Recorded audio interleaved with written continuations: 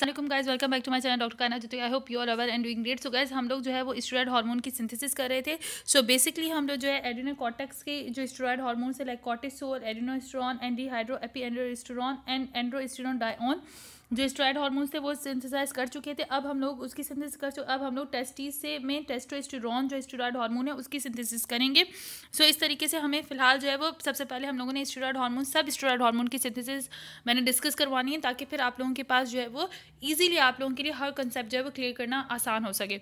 सो so, अब हम लोग जो है वो टेस्टोस्टेरॉन में टेस्टीज़ में टेस्टोस्टेरॉन जो स्टेरॉयड हार्मोन है उसकी सिंथेसिस को जो है वो डिस्कस करते हैं। तो बेसिकली अब हम synthesis and secretion of testosterone है तो हम लोग सबसे पहले सिंथेसिस जो हमारी मेन फोकस है हम लोग वो डिस्कस कर रहे हैं।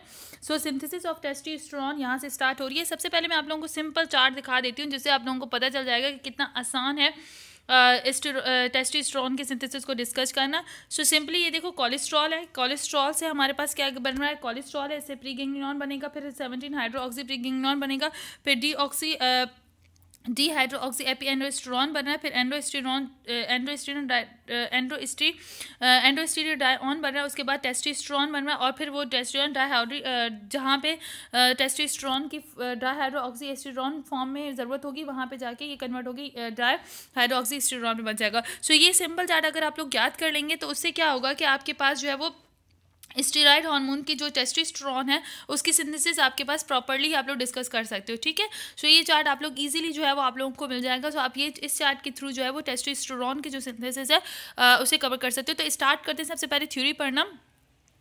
ठीक है सो यहाँ से हम लोग स्टार्ट करें। Testosterone the major androgenic hormone is synthesize and secreted by the Leydig cells of the testis ठीक है लीडिंग सेल्स ऑफ़ टेस्टिस से ये हमारे पास जो है वो प्रोड्यूस होता है, उसे सिंथेसाइज कौन करता है? लीडिंग सेल्स ऑफ़ टेस्टिस जो है वो हमारे पास बेसिकली टेस्टिस्टेरॉन को सिंथेसाइज करती है। The steroidogenic pathway in this testis shown in figure ten point five जो मैंने आपको फिगर दिखाया, उसके अंदर पूरा पाथवे दिया हुआ है टेस्टिस्टेरॉन की सिंथेसिस का। Are similar to to to those describe for adrenal cortex chapter nine figure nine point two three अब ये उसी की तरह सिंपल है जो मैंने आप लोगों को पीछे दिखाया था कि किस तरीके से कोलेस्ट्रॉल से हमारे पास मिनरोकॉटिकॉइड एडिनोकॉटिकॉइड एंड हमारे पास जो है वो एंड्रोजेंस बन रहे थे। तो अब टेस्टिस्ट्रॉन क्योंकि उसी की कैटेगरी का है तो सिमिलरली उसी की तरीके के उसके स्टेप्स स्टार्ट हो रहे हैं। ठीक है इंपॉर्टेंट डिफरेंस अब इनमें और मिनरोकॉटिकॉइड एंड एडिनोकॉटिकॉइड में डिफरेंस क्या है? सो so, केमिकली अगर हम लोग डिफरेंस की बात करें ठीक है? सो केमिकली अगर हम लोग डिफरेंस की बात करें तो इसके अंदर जो केमिकली डिफरेंस है, वो ये है कि important difference the testes lack the enzyme twenty one beta hydroxylase and eleven beta hydroxylase and therefore cannot synthesize glucocorticoid and mineralocorticoid testes के अंदर बेसिकली दो twenty one beta hydroxylase and eleven beta hydroxylase नहीं होता, जो कि main होता है glucocorticoid and मिनरोकॉटिकॉइड synthesis में। इस वजह से टेस्टीज जो है वो सिर्फ़ टेस्टिस्ट्रॉन जो है सिंथेसाइज कर सकती हैं। और the testes have an additional enzyme 17 beta hydroxy steroid dehydrogenase 17 beta D hydroxy steroid ये जो इंजाइम है, ये बेसिकली हमारे पास मेन इंजाइम्स होता है विच कन्वर्ट एंड्रो एंड्रोस्टीन डायन टू टेस्टोस्टेरॉन जो कि एंड्रोस्टायन को टेस्टोस्टेरॉन में कन्वर्ट करता है।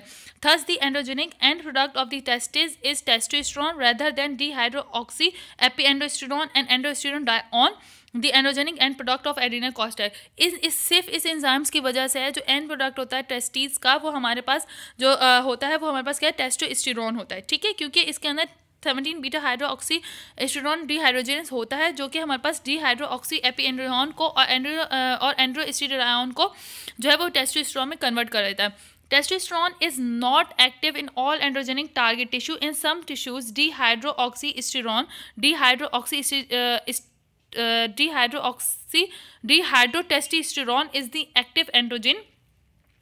In those tissues testosterone is converted to dihydrotestosterone uh, by the enzyme 5 alpha reductase देखो इसमें क्या है? टेस्टोस्टेरोन कहीं किन कुछ किस टिश्यूज़ के अंदर टेस्टोस्टेरोन जो है वो हमारे पास एक्टिव फॉर्म में नहीं जा सकता वहाँ पे एक्टिव नहीं होता। उन टिश्यूज़ के अंदर जो टेस्टोस्टेरोन है वो हमारे पास dry hydro dry hydro dry hydro testosterone में कन्वर्ट होता है by the help of five alpha reductase की फॉर्म में ठीक है? सो वहाँ पे टेस्टिस्ट्रॉन जो है वो dry hydro dry hydro testosterone के फॉर्म में स्टोर होता है और एक्टिव होता है, ठीक है? सो वो भी अब दिखा देती, मैं आपको दिखा देती हूँ।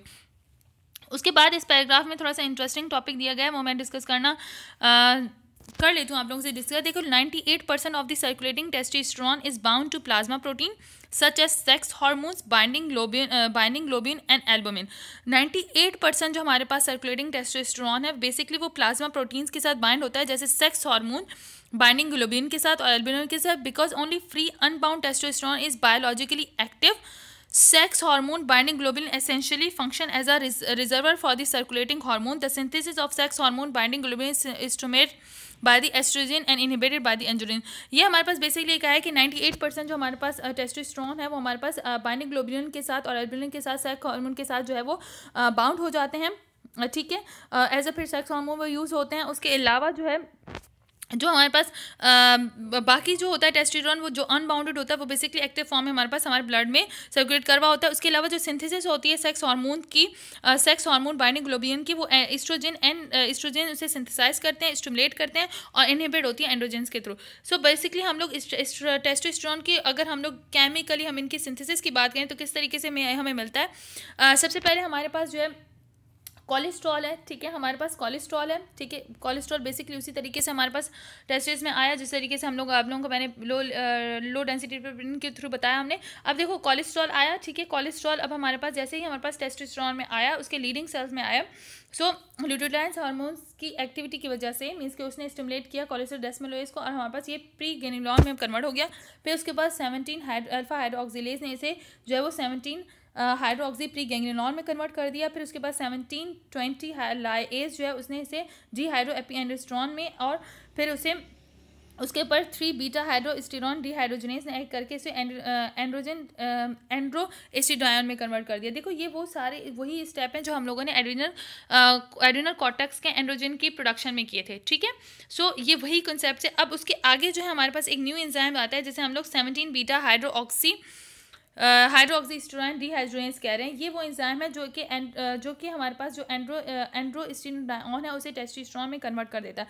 अच्छा काफ़ी सारी टिश्यूज़ के अंदर जो है वो टेस्टिस्ट्रॉन एक्टिवली काम नहीं करता तो वहाँ पे जो है वो टेस्टिस्ट्रॉन को कन्वर्ट होना पड़ता है ड्राई हाइड्रोक्सीस्टिड्रॉन में। और वो किस तरीके से, किसकी हेल्प की वजह से होता है? Five alpha reductase target tissues की की वजह से, उस एंजाइम्स की वजह से टारगेट टिश्यू में ड्राई हाइड्रो ऑक्सी में कन्वर्ट हो जाता है और अपनी एक्टिविटी को परफॉर्म करता है। सो so बेसिकली आप लोगों से जो है स्टेरॉयड हार्मोन हमारे पास कोलेस्ट्रॉल से इस तरीके से सिंथराइज होता है। पहले कोलेस्ट्रॉल के ऊपर कोलेस्ट्रॉल डिस्मोलेज एक्ट करता है, फिर प्री प्रीगनॉन में से कन्वर्ट करता है, फिर उसके बाद सेवनटीन अल्फ़ा हाइड्रोलेक्स के ऊपर कन्वर्ट करता है, उसे कन्वर्ट कर देता है सेवनटीन हाइड्रो ऑक्सी प्रीगेंग्लियन में, उसके ऊपर फिर seventeen twenty lyase enzyme act करता है और उसे डी हाइड्रो एंड्रोस्ट्रॉन में कन्वर्ट कर देता है और फिर उसके बाद थ्री बीटा हाइड्रोस्टिनॉन जो होता है हमारे पास डी हाइड्रोजनेज वो इसे एंड्रो एंड्रो स्टिड्रॉन में कन्वर्ट करता है और उसके बाद हमारे पास टेस्टिड्रॉन जो है वो विद द हेल्प ऑफ़ जो मेन इंजाइम है यहाँ पे वो हमारे पास है सेवनटीन बीटा हाइड्रो ऑक्सीस्टिरॉन डीहाइड्रोजनेज ठीक है? उसको कन्वर्ट करता है किसमें? टेस्टोस्टेरोन में और किसी जगह पे किन, कुछ टारगेट टिश्यूज़ में टेस्टोस्टेरोन जो है वो as a